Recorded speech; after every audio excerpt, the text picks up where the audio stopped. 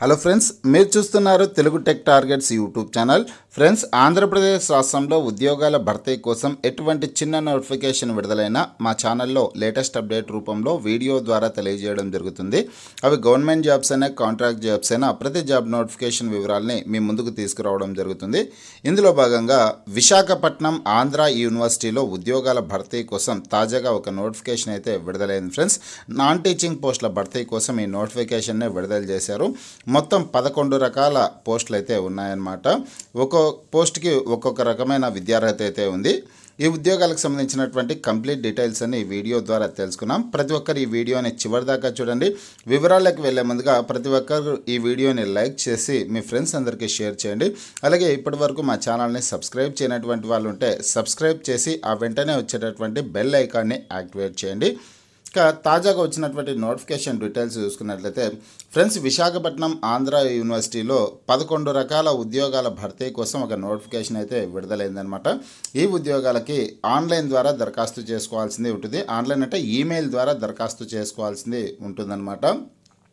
ఇక ఈ ఉద్యోగాలని ఇంటర్వ్యూ ద్వారా సెలెక్ట్ చేయడం జరుగుతుంది. ఎటువంటి రాత పరీక్ష ఉండదు. దరఖాస్తు చేసుకున్నటువంటి అభ్యర్థులలో షార్ట్ లిస్ట్ షార్ట్ లిస్ట్ చేసిందనో షార్ట్ లిస్ట్ చేసినటువంటి అభ్యర్థులకి ఇంటర్వ్యూ నిర్వహించి పోస్టింగ్ అనేది ఇవ్వడం జరుగుతుందన్నమాట.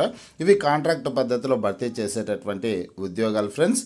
కాకపోతే కానీ ఈ ఉద్యోగాలకి దరఖాస్తు చేసుకోవడానికి చివరి తేదీ వచ్చేసి డిసెంబర్ పదవ తారీఖు అనమాట మీరు ఆన్ ఈమెయిల్ ద్వారా దరఖాస్తు చేసుకోవాలి కదా. ఈమెయిల్ ద్వారా దరఖాస్తు చేసుకోవాల్సిన ఈమెయిల్ అడ్రస్ వచ్చేసి ఇక్కడ ఇచ్చారు చూడండి. RUSA two at Andhra university dot edu dot in అనే వెబ్సైట్ అనే ఈమెయిల్ అడ్రస్కి మీరు అప్లికేషన్ ఫామ్ని పంపవలసి ఉంటుంది అనమాట అప్లికేషన్ ఫామ్ వచ్చేసిందను ఆంధ్ర యూనివర్సిటీ అఫీషియల్ వెబ్సైట్లో అయితే ఉంటుంది. ఇక్కడ వెబ్సైట్ అడ్రస్ ఇక్కడ ఇచ్చారు చూడండి.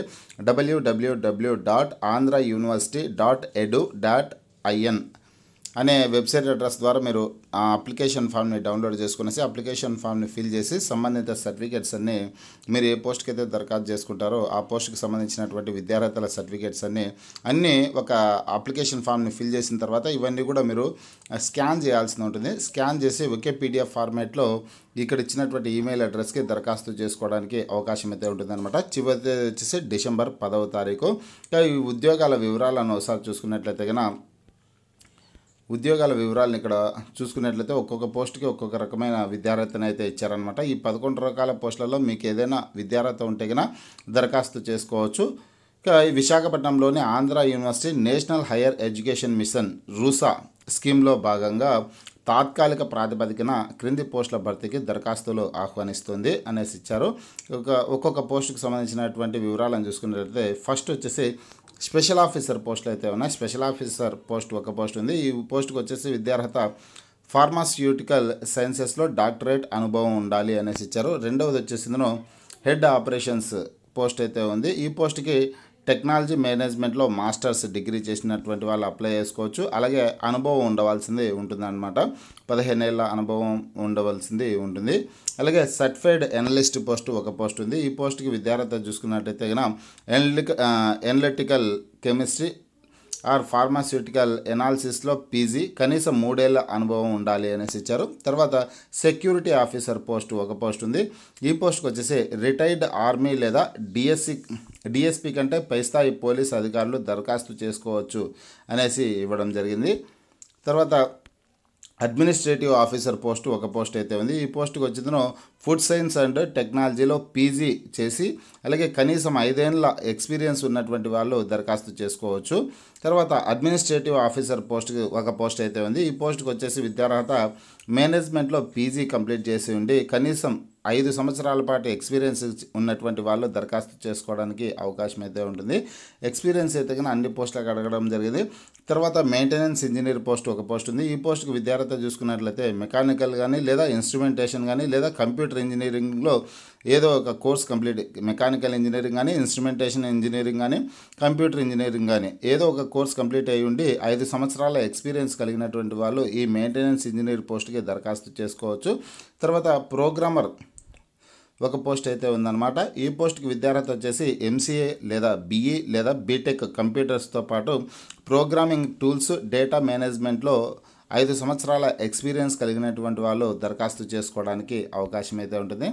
తర్వాత టెక్నికల్ అసిస్టెంట్ పోస్ట్ చూసుకున్నట్లయితే టెక్నికల్ అసిస్టెంట్ పోస్ట్ ఫార్మసీ విభాగంలో టెక్నికల్ అసిస్టెంట్ పోస్ట్ అయితే ఒకటి ఉంది ఈ ఉద్యోగానికి విద్యార్హత వచ్చేసి ఫార్మసీలో గ్రాడ్యుయేషన్ కంప్లీట్ చేసి ఉండి కనీసం ఒక సంవత్సరం పాటు ఎక్స్పీరియన్స్ ఉన్నటువంటి వాళ్ళు దరఖాస్తు చేసుకోవచ్చు. తర్వాత ల్యాబ్ అసోసియేట్ పోస్ట్ ఒక పోస్ట్ అయితే ఉందన్నమాట. ఫుడ్ సైన్స్ విభాగంలో ల్యాబ్ అసోసియేట్ పోస్ట్ ఒకటి ఉంది ఈ పోస్ట్కి విద్యార్హత వచ్చేసి బీఎస్సీతో పాటు కనీసం ఒక సంవత్సరం ఎక్స్పీరియన్స్ ఉన్నటువంటి వాళ్ళు దరఖాస్తు చేసుకోవచ్చు. బీఎస్సీ వచ్చేసి ఫుడ్ సైన్స్ అండ్ న్యూట్రిషన్ విభాగంలో బీఎస్సీ కంప్లీట్ అయిపోయి అయిపోయి ఉండాల్సింది ఉంటుందన్నమాట. అలాగే ఒక సంవత్సరం పాటు ఎక్స్పీరియన్స్ ఉండాల్సింది ఉంటుందనేసి ఇచ్చారు. తర్వాత జెనెటిక్స్ అసిస్టెంట్ ఒక పోస్ట్ అయితే ఉంది.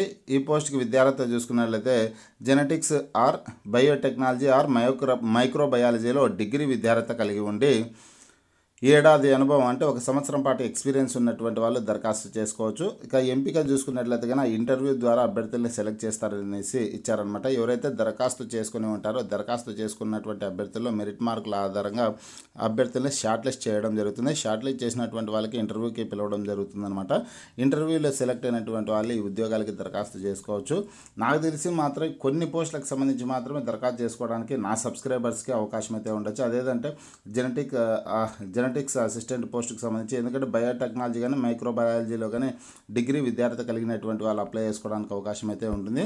అలాగే టెక్నికల్ అసిస్టెంట్ పోస్ట్కి సంబంధించి ఫార్మసీలో డిగ్రీ కంప్లీట్ అయినటువంటి వాళ్ళు దరఖాస్తు చేసుకోవడానికి అవకాశం అయితే ఉంటుందన్నమాట. అలాగే ప్రోగ్రామర్ వన్ పోస్ట్కి సంబంధించి చూసుకున్నట్లయితే కన్నా బీఈ లేదా బీటెక్లో కంప్యూటర్ ఇంజనీరింగ్ కంప్లీట్ అయినటువంటి వాళ్ళు దరఖాస్తు చేసుకోవడానికి అవకాశం అయితే ఉంటుంది. అలాగే మెయింటెనెన్స్ ఇంజనీర్ పోస్ట్ కూడా అప్లై చేసుకోవడానికి అవకాశం ఉన్నటువంటి వాళ్ళు కూడా ఉంటారనమాట మెకానికల్ ఇంజనీరింగ్ కానీ ఇన్స్ట్రుమెంటేషన్ ఇంజనీరింగ్ కానీ కంప్యూటర్ ఇంజనీరింగ్ కానీ ఏదో ఒక కోర్స్ కంప్లీట్ అయినటువంటి వాళ్ళు ఆ ఉద్యోగానికి అయితే దరఖాస్తు చేసుకోవచ్చు. అలాగే ఎక్స్పీరియన్స్ కూడా అడగడం జరిగింది.